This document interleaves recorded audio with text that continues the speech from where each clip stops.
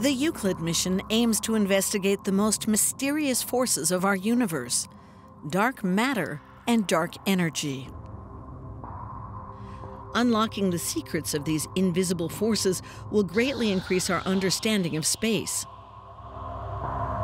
Visible matter, responsible for stars, nebula, and galaxies, makes up less than 5% of the universe. The remaining 95% is invisible. The theory is that dark matter works a bit like glue, holding stars and galaxies together.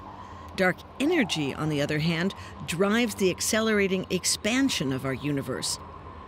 These mysterious forces are only identifiable by their effects.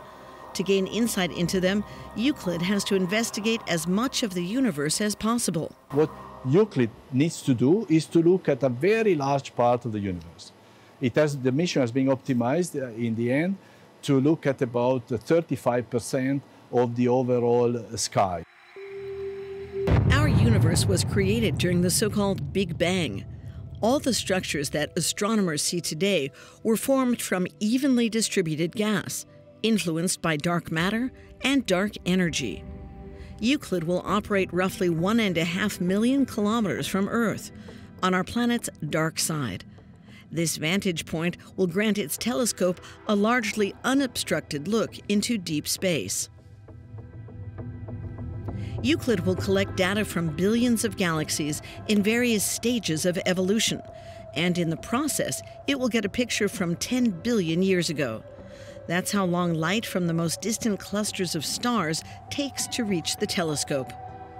The gathered data will reveal how exactly dark matter is distributed in space, and how the proportion of dark energy has changed over time. Euclid is a, a, mission which will produce really a huge amount of information, which will serve not only cosmology, by the way, but will will serve uh, uh, galactic studies, uh, will serve all sorts of other other sciences, astronomy, astronomy science. The Euclid mission will run for around six years and is widely expected to transform our understanding of the universe.